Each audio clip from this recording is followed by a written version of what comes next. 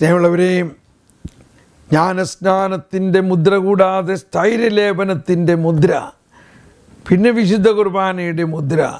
അങ്ങനെ പ്രാരംഭ കൂതാശകളുടെ മൂന്ന് പ്രാരംഭ കൂതാശകളിലും മൂന്ന് മുദ്ര നമ്മളിൽ പതിക്കപ്പെട്ടിരിക്കുന്നു. നമ്മൾ നിസാരരല്ല. വി ബിലോങ് ടു ക്രൈസ്റ്റ് നമ്മൾ കർത്താവിന്റേതാണ്.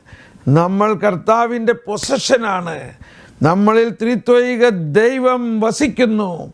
നാം ദൈവത്തിലും ദൈവം നമ്മളിലും വസിക്കുന്നു.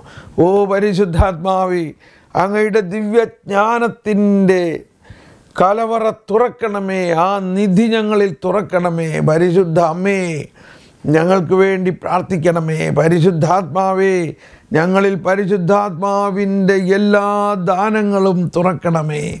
സ്ഥൈര്യലേപനത്തെക്കുറിച്ച് നമുക്ക് തുടർന്ന് പഠിക്കാം. വിശുദ്ധ തൈലത്തിന്റെ കൂതാശ ചെയ്യൽ. ആയിരത്തി ഇരുന്നൂറ്റി തൊണ്ണൂറ്റി ഏഴ് വിശുദ്ധ തൈലത്തിന്റെ കൂതാശ ചെയ്യൽ സ്ഥൈര്യലേപന ആഘോഷത്തിന്റെ മുൻപ് നടക്കുന്ന സുപ്രധാന കർമ്മമാണ്. എന്നാൽ അത് ഒരു വിധത്തിൽ ആഘോഷത്തിന്റെ ഭാഗവുമാണ്. മെത്രാനാണ് തന്റെ രൂപത മുഴുവനും വേണ്ടിയുള്ള വിശുദ്ധ തൈലം പെസഹാ വ്യാഴാഴ്ചയിലെ തൈലാശീർവാദ കുർബാനയിൽ അതാണ് ക്രിസമ്മാസ് ഈ ദിവസങ്ങളിൽ എല്ലാ രൂപതകളിലും മെത്രാൻ എല്ലാ വൈദികരോടും ചേർന്നുള്ള ക്രിസ്മാസിൽ വെച്ച് ആണ് ഈ തൈലാശീർവാദം നടത്തുന്നത്. അതും നമ്മൾക്ക് അതാണ് ഈ വലിയ ആഴ്ചയുടെ വലിയ ഒരു പ്രധാന ആഘോഷം. മെത്രാനാണ് തന്റെ രൂപത മുഴുവനും വേണ്ടിയുള്ള വിശുദ്ധ തൈലം പെസഹ വ്യാഴാഴ്ചയിലെ തൈലാശീർവാദ കുർബാനയിൽ വെഞ്ചിരിക്കുന്നത്. ചില പൗരസ്ത്യ സഭകളിൽ തൈലം കൂതാശ ചെയ്തൽ പാത്രിയാർഗീസിന് മാത്രമായി മാറ്റിവെക്കപ്പെട്ടതാണ്. അങ്ങനെ അപ്പോൾ ഇത് ഈ വലിയ ആഴ്ചയിലെ വലിയ ഒരു ആഘോഷമാണ് അൽമായർ സാധാരണ ഇതിനെക്കുറിച്ച് അധികം അറിയില്ല.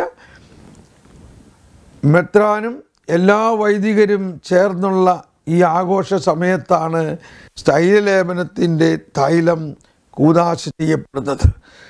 ആയിരത്തി ഇരുന്നൂറ്റി തൊണ്ണൂറ്റി ഒമ്പതിൽ റോമൻ റീത്തിൽ മെത്രാൻ തന്റെ കൈകൾ നീട്ടുന്നു. ഈ അനുഷ്ഠാനം അപ്പസ്തോലന്മാരുടെ കാലം മുതൽ പരിശുദ്ധാത്മാവിന്റെ ദാനത്തെ സൂചിപ്പിക്കുന്നതാണ്. മെത്രാൻ പരിശുദ്ധാത്മാവിന്റെ വർഷിക്കലിനായി പ്രാർത്ഥിക്കുന്നു. ഇതാണ് പ്രാർത്ഥന. സർവശക്തനായ ദൈവമേ ഞങ്ങളുടെ കർത്താവായ യേശുക്രിസ്തുവിന്റെ പിതാവേ അങ്ങ് ജലത്താലും പരിശുദ്ധാത്മാവിനാലും അങ്ങയുടെ ഈ ദാസന്മാരെ പാപത്തിൽ നിന്ന് മോചിപ്പിച്ച് അവർക്ക് നവജീവൻ നൽകിയല്ലോ. കർത്താവെ അങ്ങ് സഹായകനായ പരിശുദ്ധാത്മാവിനെ ഇവരുടെ മേൽ അയക്കണമേ. കണ്ടോ? മെത്രാൻ സ്ഥാനാർത്ഥികളുടെ മേൽ കൈകൾ നീട്ടി പരിശുദ്ധാത്മാവിന്റെ ദാനങ്ങൾക്ക് വേണ്ടി പ്രാർത്ഥിക്കുന്ന പ്രാർത്ഥനയാണ് സൈര്യലേപനത്തിനോടൊപ്പമുള്ള മുദ്രവയ്ക്കലിനോടൊപ്പമുള്ള വലിയ ഒരു അഭിഷേക പ്രാർത്ഥന. അങ്ങ് ജലത്താലും പരിശുദ്ധാത്മാവിനാലും അങ്ങയുടെ ഈ ദാസന്മാരെ പാപത്തിൽ നിന്ന് മോചിപ്പിച്ചു. അവർക്ക് നവജീവൻ നൽകിയല്ലോ. ഈ നവജീവൻ എന്നുള്ള കാര്യം നമ്മൾ ജ്ഞാനസ്നാനത്തിൽ വിടരുത്. അതാണ് ജ്ഞാനസ്നാനത്തിന്റെ ഏറ്റവും പ്രധാന ഫലം. നവജീവൻ. കർത്താവെ അങ്ങ് സഹായകനായ പരിശുദ്ധാത്മാവിനെ അവരുടെ മേൽ അയക്കണമേ.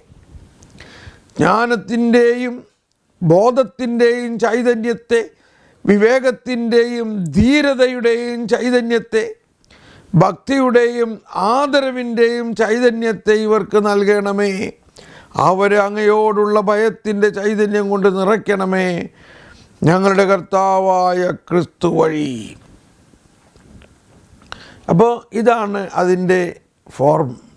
ഇതിൽ ഐശയ്യ പതിനൊന്നാം അധ്യായത്തിൽ പറഞ്ഞിരിക്കുന്ന മെസ്സിയാനിക് ഗിഫ്റ്റ്സ് യേശുവിന്റെ അഭിഷേകത്തിൽ ഉള്ള ആ പരിശുദ്ധാത്മാവിന്റെ പ്രധാ ദാനങ്ങളെല്ലാം നമ്മളിലേക്ക് അതുപോലെ തന്നെ കൈമാറ്റപ്പെടുന്നു. യേശുക്രിസ്തുവിൽ നിറഞ്ഞിരിക്കുന്ന ആ ജ്ഞാനം അറിവ് വിവേകം ധൈര്യം ദൈവഭയം ഇവയെല്ലാം നമുക്ക് ലഭിച്ചിരിക്കുന്നു. ധൈര്യലേപനത്തിലൂടെ സ്നേഹമുള്ളവരെ നമ്മൾക്കതിനെക്കുറിച്ച് അവബോധമുണ്ടാകണം. ദാവീദ് രാജാവിന് സോളമൻ രാജാവിന് അങ്ങനെ ജ്ഞാനത്തെക്കുറിച്ച് അവർക്കെല്ലാം കൊടുത്ത ആ ജ്ഞാനം തന്നെയാണ് യേശു ക്രിസ്തുവിൽ കൂടുതൽ പൂർ പൂർവാധികം ശക്തിയിൽ പെസഹ രഹസ്യങ്ങളിലൂടെ നമുക്ക് പങ്കുവച്ച് തന്നിരിക്കുന്നത്. ആയിരത്തി മുന്നൂറ് തുടർന്ന് വരുന്നതാണ് ആ കൂതാശയുടെ കാതലായ അനുഷ്ഠാന കർമ്മം. ലത്തീൻ ക്രമത്തിൽ സ്ഥൈര്യലേപനം എന്ന കൂതാശ നൽകുന്നത് നെറ്റിയിൽ തൈലം ലേപനം നടത്തിക്കൊണ്ടാണ്. പരിശുദ്ധാത്മാവാകുന്ന ദാനത്തിന്റെ മുദ്ര സ്വീകരിക്കുക എന്ന വാക്കുകൾ ഉച്ചരിച്ച് കൈവെപ്പ് നടത്തിക്കൊണ്ടാണ് ഈ ലേപനം നിർവഹിക്കുന്നത്.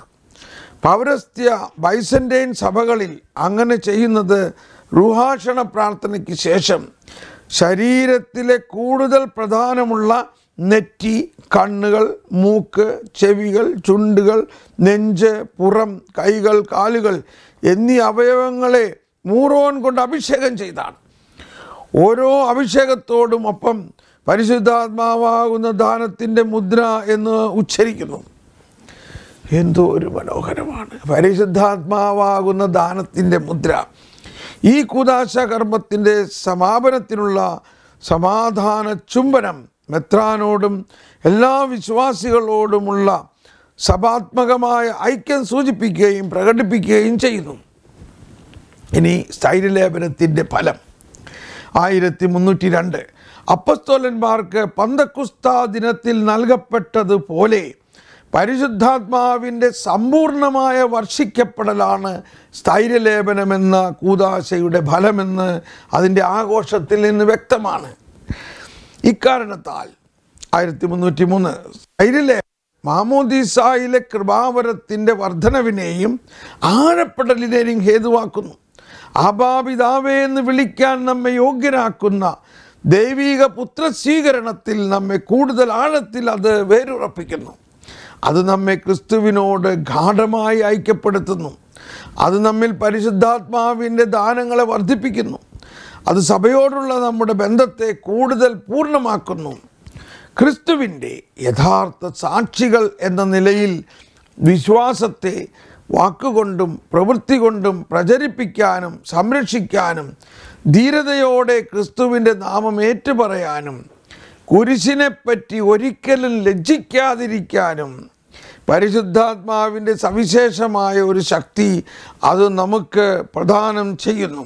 കൗൺസിൽ ഓഫ് ഫ്ലോറൻസ് നിങ്ങൾ ആധ്യാത്മികമായ മുദ്രയെ ജ്ഞാനത്തിന്റെയും ബോധത്തിന്റെയും ചൈതന്യത്തെ വിവേകത്തിന്റെയും ധീരതയുടെയും ചൈതന്യത്തെ അറിവിന്റെയും ഭക്തിയുടെയും ചൈതന്യത്തെ വിശുദ്ധമായ ഭയത്തിന്റെ ചൈതന്യത്തെ സ്വീകരിച്ചുവെന്ന് അപ്പോൾ ഓർമ്മിക്കുക.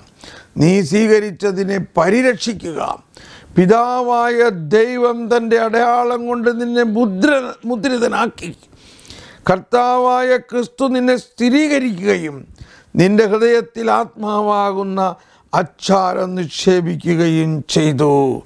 സ്ഥൈര്യലേപനം അത് പൂർത്തിയാക്കുന്ന മാമോദീസ എന്ന പോലെ ഒരിക്കലേ നൽകപ്പെടുകയുള്ളൂ. കാരണം അത് ആത്മാവിൽ മായ്ക്കാനാവാത്ത ഒരു ആധ്യാത്മിക അടയാളം ആയ മുദ്ര പതിക്കുന്നു. തന്റെ സാക്ഷിയായിരിക്കേണ്ടതിന് യേശു ക്രിസ്തു ക്രൈസ്തവനെ തന്റെ പരിശുദ്ധാത്മാവിന്റെ മുദ്രയാൽ അത്യുന്നതത്തിൽ നിന്നുള്ള ശക്തി ധരിപ്പിച്ചുകൊണ്ട് അടയാളപ്പെടുത്തിയിരിക്കുന്നു എന്നതിന്റെ സൂചനയാണ് ഈ മുദ്ര. ഈ മുദ്ര ആയിരത്തി മുന്നൂറ്റിയഞ്ച് വിശ്വാസികൾ മാമോദിസായിൽ സ്വീകരിച്ച പൊതു പൗരോഹിത്യത്തെ പൂർണമാക്കുന്നു. സ്ഥൈര്യലേപനം സ്വീകരിക്കുന്ന വ്യക്തി ക്രിസ്തുവിലുള്ള വിശ്വാസം ഔദ്യോഗിക കർമ്മം എന്ന പോലെ പരസ്യമായി ഏറ്റുപറയാനുള്ള ശക്തി സ്വീകരിക്കുകയും ചെയ്യുന്നു. സ്നേഹമുള്ളവരെയും ഈ ദിവസങ്ങളിൽ ക്രിസമ്മാസിനോടൊപ്പം മെത്രാനും വൈദികരും ഒരുമിച്ച് സ്ഥൈര്യലേപനത്തിനുള്ള തൈലം കൂതാശ ചെയ്യുമ്പോൾ തന്നെ നമ്മളെല്ലാവർക്കും വേണ്ടി അവർ പ്രാർത്ഥിക്കുന്നു. ഓ ദൈവമേ സഭ മുഴുവനിലും ഒരു പുതിയ അഭിഷേകം ഈ ഈ കാലഘട്ടത്തിൽ ഈ വലിയ ആഴ്ചയിൽ ഈ ക്രിസ്മസിലൂടെയും ഈ തൈലത്തിന്റെ കൂതാശ ചെയ്യുന്ന ക്രിസമാസിലൂടെയും അതുപോലെ നമ്മൾ നമ്മുടെ മാമോദീസായും സ്ഥൈര്യലേപനത്തിന്റെ നവീകരണത്തിലൂടെയും ഉണ്ടാകട്ടെ എന്ന് നമുക്ക് പ്രാർത്ഥിച്ചുകൊണ്ട് സ്ഥൈര്യലേപനത്തിലൂടെ നമുക്ക് ലഭിച്ച ജ്ഞാനം അറിവ് വിവേകം. പരിശുദ്ധാത്മാവേ ഈ ജ്ഞാനം ഞങ്ങളിൽ തുറക്കണമേ. ഈ ജ്ഞാനം ഞങ്ങളിൽ തുറക്കണമേ. ദൈവീക രഹസ്യങ്ങളുടെ നിധി ഞങ്ങളിൽ തുറക്കണമേ. ജ്ഞാനത്തിന്റെയും അറിവിന്റെയും നിധി അവലിലാണല്ലോ ഒളിഞ്ഞിരിക്കുന്നത്. കൊളോസോസ് ലേഖനം മൂന്നാം അധ്യായം രണ്ടാമത്തെ വചനം. ഒന്ന് കൊറേന്ത്യോസ് ഒന്നേ മുപ്പതിൽ പറയുകയാണ് നമ്മുടെ ജീവിതത്തിന്റെ ഉറവിടം അവിടുന്ന് തന്നെയാണ്. ക്രിസ്തുവിലുള്ള നമ്മുടെ ജീവിതത്തിന്റെ ഉറവിടം അവിടുന്ന് തന്നെയാണ്. ദൈവം അവനെ നമുക്കായി ജ്ഞാനവും നീതിയും വിശുദ്ധീകരണവും പരിത്രാണവുമാക്കിയിരിക്കുന്നു. ആദ്യം ജ്ഞാനമാണ്. ഈ ദൈവീക രഹസ്യങ്ങൾ പ്രത്യേകിച്ച് പുതിയ ഉടമ്പടിയുടെ രഹസ്യങ്ങൾ മനസ്സിലാക്കുന്നതിന് ദൈവമേ ഞങ്ങളിൽ ദൈവീക ജ്ഞാനം തുറക്കണമേ. ശണ്ടാലഹാലബലമാക്കീരിയ ഓ പരിശുദ്ധാത്മാവേ ഇത് ശ്രമിക്കുന്ന എല്ലാവരിലും ദൈവീക ജ്ഞാനം തുറക്കണമേ. പ്രഭാതത്തിൽ ഉണർന്ന് അവളെ തേടുന്നവർക്ക് പ്രയാസം കൂടാതെ അവളെ കണ്ടുമുട്ടാം. ജ്ഞാനം ആറ് പതിനാല്. അവൾ വാതുക്കൽ കാത്തു നിൽക്കുന്നു. ജ്ഞാനം അക്ഷയനിധിയാണ്. അത് സിദ്ധിച്ചവർ ദൈവത്തിന്റെ സൗഹൃദം നേടുന്നു. ഇത് എല്ലാവരിലും പ്രസരിക്കട്ടെ. ആമേൻ.